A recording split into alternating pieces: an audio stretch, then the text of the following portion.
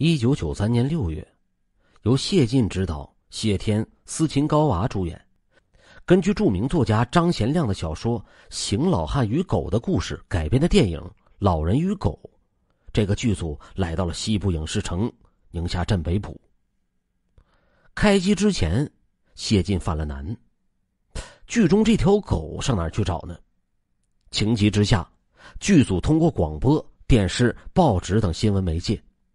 向全社会公开招聘狗，一时间剧组可就热闹了，各种各样的人领着各式各样的狗前来应聘。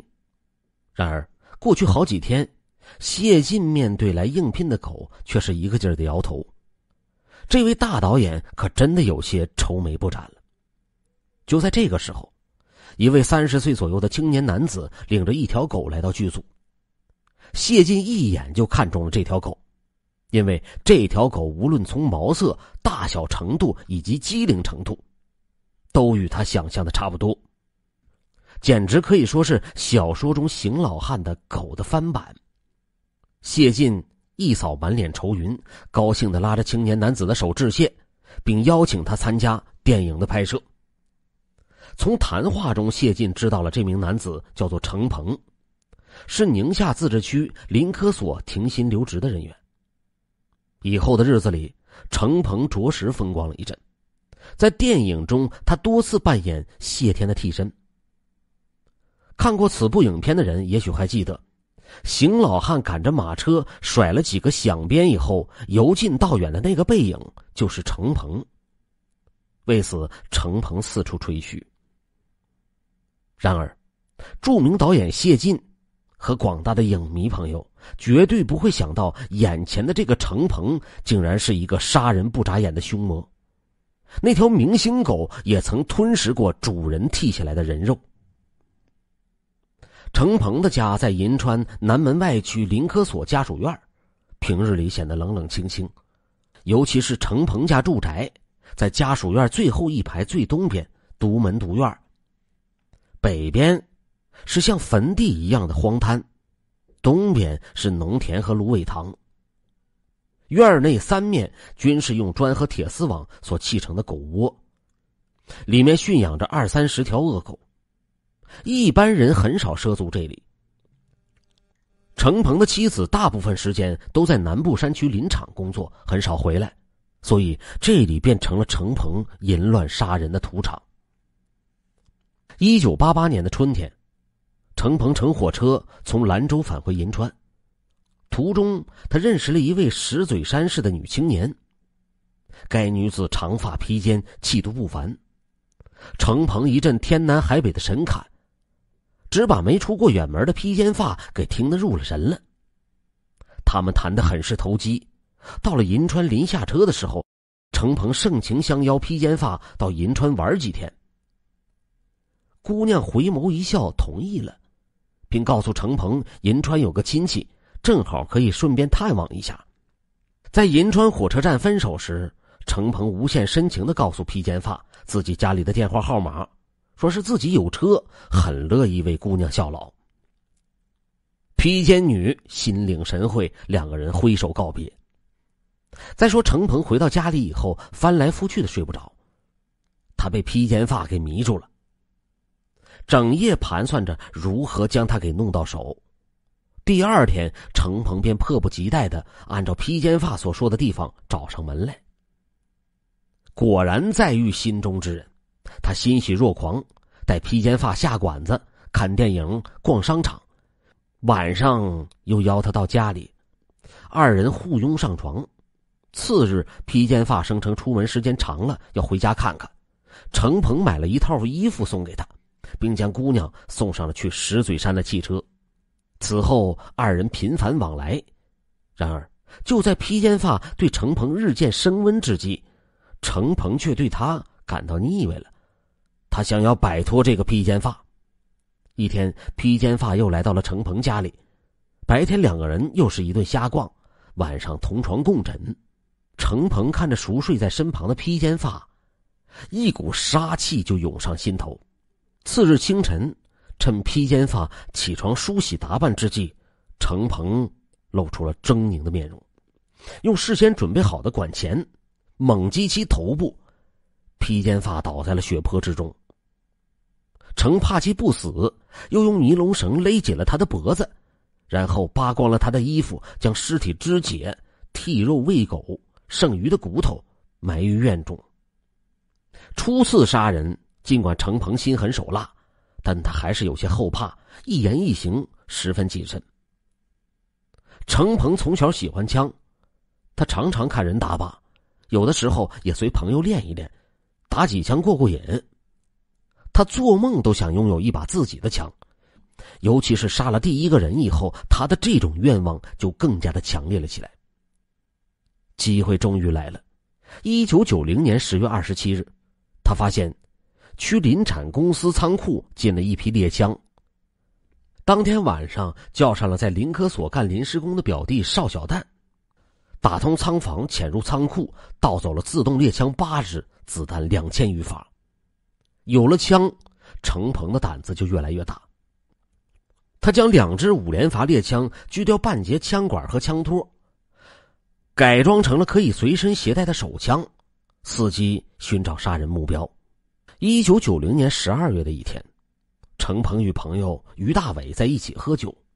于对程鹏说：“他不想在长城贸易公司干了，向总经理李国栋提出了退还三千元风险抵押金。”遭到了李的拒绝，程鹏听后十分气愤，他决定要为于大伟出这口恶气。十二月二十二日，程鹏叫上了邵小蛋，带上改装好的猎枪，要租车找李国栋寻仇。他们在银川火车站租了司机杨学林的天津大发，将其诱骗家中，开枪打死。邵小蛋第一次见杀人的场面，问程鹏尸体怎么办。程鹏指着狂吠乱叫的狼狗，狠狠的说道：“我养他们是干什么的？你知道吗？”随后，二人将剃光了肉的骨头给埋在了狗窝下面，全都让这些狗给吃了。然后，开着抢劫的汽车，拉着于大伟四处寻找李国栋未果，只好将汽车弃至西门桥附近。时隔半月，程鹏见风声已过。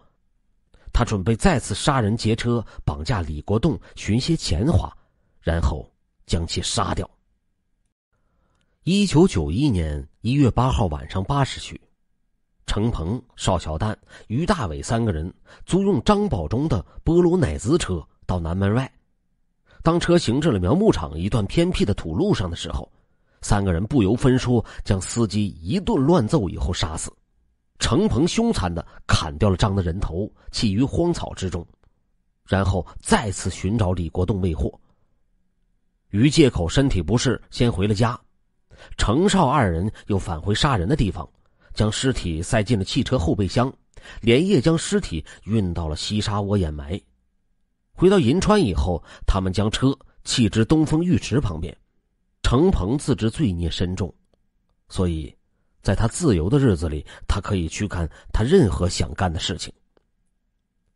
为了练习枪法，他今天偷只鸡，明天偷只鸭，挂在院中瞄准射击，然后将打死的鸡鸭扔给等食的狼狗。久而久之，左邻右舍对程鹏打枪已经习以为常。每日每夜独守空房，程鹏自感寂寞。他需要钱，也需要女人。一九九二年隆冬，程鹏在银川同府居大酒店跳舞，认识了一个刘姓的女孩。一阵殷勤奉承之后，他邀刘女逛夜市、吃小吃。一来二去，没几天，刘女便投入了他的怀抱。程鹏经常带着她兜风玩乐，而后带回家里过夜。一天，刘女来到了程家，缠绵之余，她告诉程鹏自己找了个男朋友。因为急需钱，请他帮忙筹借三千元。程鹏如同被人给当头泼了一盆冷水，他不动声色的约刘女星期六来家里拿钱，实则心中打定了杀死刘女的主意。星期六，刘女按时赴约，程鹏带刘女跳完舞回到家里以后，相拥入梦。次日，刘女起床梳洗以后，对镜化妆，程鹏在其身后扣动了扳机。刘女当场倒地身亡，随后程鹏将刘女衣服给扒光，扔进了邻居的院内，随后，程鹏将刘女衣服给扒光，然后尸体扔进了邻居的院内，因为那里有他养的五条狼狗。程鹏的邻居出差，让程鹏给他看家。十天以后，程鹏进院内查看，仅剩一堆白骨。程鹏顺手抄起了一把铁锹，将刘女的人头扔在了自家的房上，然后就地将白骨埋在了院内，拍拍手，领着几条狼狗扬长而去。程鹏养狗玩枪，远近出了名。林科所有一位叫做于某的女人，对程鹏极为佩服。他认为像程鹏这样的人才算是真正的男子汉。尽管于某有丈夫、孩子和一个温暖的家，但这一切都无法抵挡程鹏对他在感情上的吸引。他长程鹏七岁，然而两个人却非常投缘。程鹏将自家门上的钥匙交给了于某，于是程家成了他第二个家。一九九四年四月十二日，于某以父亲亡故三周年为借口，专门向单位领导请了假，预订了火车票，准备到河北老家去祭奠父亲。他提前一天给程鹏打了电话，让程鹏送他，顺便有重要的事情告诉他。程鹏在银川老大楼前见到了于某，并将他接回了家中。当天晚上，他们在宁丰苑吃了一顿丰盛的晚餐，又到西域歌厅听歌。深夜十一时许，二人尽兴而归。天快亮的时候，于某紧紧的抱住程鹏，动情的告诉他，他想为没有孩子的程鹏生一个孩子。程鹏听了这个话，脸色大变。逢场作戏惯了的他，只想满足生理上的要求，根本不愿意让任何女人纠缠。他苦笑了几声。催促于某赶紧起床，别误了火车。他这一次下定决心要摆脱于某，但是唯一的办法就是让他消失在地球上。于某匆匆起床，刚在脸上洗了一把洗面奶，程鹏从其身后就开了枪。于某重重的栽在了程鹏的脚下，程鹏扔掉了手中的枪，又用两手死死的卡住了于某的脖子。看到于某已死，程鹏打开了他随手所携带的皮包，搜走了现金，又摘掉了他的金项链、金耳环、金戒指，然后在院内葡萄树下挖了一个坑，保留了于某的全尸，并从屋内拿了一些纸，猫哭老鼠一般乱烧了一番，全作对依恋他的情人于某的一种补偿。程鹏恶行的终结，竟然是来自一个偶然的机会。一九九四年的十二月中旬，银川市开发区的某公司经理张明与老同学程鹏合作一笔羊绒生意。当程鹏得知他已经筹齐了一百五十万元的羊绒款以后，便起了杀人劫财之心。一九九五年的元月七日，程鹏以谈生意给张明一条狼狗为名，将张骗至家中，让同伙李三伟在张所喝的茶中放上了麻醉药。张喝了茶以后，便人事不知了。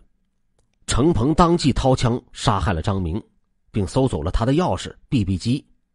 第二天，程鹏又与李三伟拿着张明的钥匙打开其家门，盗走了六百元、国库券三千元以及五百元债券。程平自鸣得意，认为自己福大命大、运气好，杀了六个人，居然未露出任何马脚。刚愎自用的他有些飘飘然了，竟然胆大妄为的将张明的 BB 机挂在腰间四处游荡。一天，程鹏正与朋友吆五喝六的时候，他腰间挂着的 BB 机突然间响了。他回电话问找谁，当打传呼的人问张明为什么不回电话的时候，程鹏就编瞎话，称自己是张明的同学，张明到云南去做生意去了。走的时候向他借了三千元现金，所以把 BB 机押给了他，并且自报了姓名。正是这个传呼揭开了程鹏杀人魔王的真面目。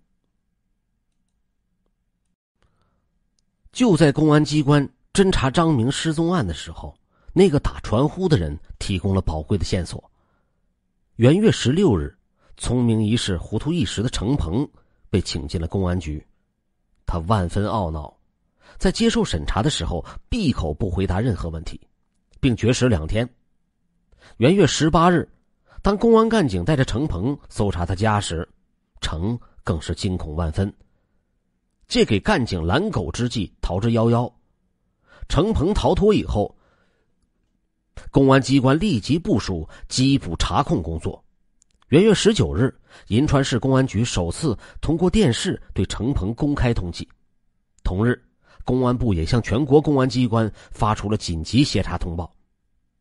元月二十一日，邵小蛋被深圳市福田公安分局抓获。二月二日，银川市公安局又抓获了另一案犯于大伟。二月十二日，自治区公安厅发出了通缉令，悬赏三至五万元捉拿程鹏。同日，公安部也向全国发出了通缉令。两天没有吃东西的程鹏，在苗木场一个木工房内弄了点吃的，匆匆坐车逃往内蒙古。到乌审旗以后，他隐姓埋名。靠给别人打零工度日。为了继续顽抗，他决定盗枪以备后用。三月十日深夜，程鹏撬开了乌审旗达布查克镇派出所，盗走了一百七十八张身份证和一个五四式手枪弹夹。三月十九日，他又撬开了乌审旗检察院一间办公室，盗走了六四式手枪弹夹两个，子弹十七发。次日，他狗急跳墙。又撬开了其政府的办公室，还是未盗得枪支，只盗窃六四式手枪子弹三十五发。程鹏连续作案，引起了乌审旗警方的关注。加之驻扎在宁夏境内的长庆油田勘探队又来到了乌审旗，程鹏怕被人给发现，就匆匆逃离了乌审旗。四月十三日中午一时。程鹏几经周折，来到了西安市未央区草滩镇八家村。在某翻砂厂，当负责人发现来人与通缉令上的程鹏一样的时候，便巧妙的通知了草滩镇派出所。副所长吴小丽带领六名干警包围了翻砂厂。为了不伤害群众，干警于群力、王明军身着便装，以买沙子为名走进了沙场办公室。负责人认识两位干警，就向坐在沙发上的程鹏努了努嘴：“你们先看看价格表再说。”两个干警假意去看价格表，一左一右站在了程鹏的两边，趁其不备，将其按倒在地上，反戴上了手铐。与此同时，外面接应的干警也冲了进来，当场从程鹏身上搜出了六四式手枪子弹五十二发，两个子弹夹。与之相像的三张身份证。说起来，程鹏的父亲退休前还是一位副厅级干部。那么，有着这样一个家庭背景的程鹏，是怎么蜕变为一个杀人不眨眼的魔鬼呢？据了解，程鹏从小就喜欢独来独往，我行我素，不服管教。上初中那年，因为老师批评了他几句，便动手揍了老师一顿。中学没有毕业就被学校给开除了。走向社会以后，厌倦了家庭冷暖的程鹏，带着一种情绪，在林科所参加了工作。一九八二年，刚满二十岁的他，因为盗窃被区公安局给抓获了。他根本就不当一回事认为当官的父亲会替他说情，保他出去。然而，当其父亲来到公安局，不但没有保释他，还痛斥了他一顿。并希望将他从严处罚。最后，他被城区法院判处有期徒刑两年。出狱以后，他心灰意冷，对家庭显得更为冷漠。一九八八年，二十六岁的他在朋友的撮合下，与林科所的某大学生结了婚。父母原以为儿子结了婚，有妻子管着会好一些，岂料程鹏对新的家庭毫无责任感。停薪留职以后。他整天伺弄喂养着二三十条狼狗，来往于街头狗市，人性在他的身上渐渐的泯灭了。程鹏自视甚高，他的哲学是：宁可我负人，我也不能让人负我。这也是导致他以后疯狂杀人的主要根源。他的朋友极少，除了于大伟、邵小蛋、李三伟以及被害的于某以外，了解他的人几乎没有。程鹏相信有钱能使鬼推磨，对钱的追求可以说达到了登峰造极。为了钱，他不顾人情伦理，不择手段，拿生命做赌注。程鹏视女人为衣服，可以随意的换穿，他从来不把任何的女人放在心上，只想逢场作戏。他是一个口蜜腹剑的伪君子，在阴暗而又疯狂的心理历程中，程鹏一步步走上了自我毁灭的道路。一九九五年九月二十六日，程鹏、邵小旦被押赴刑场执行枪决。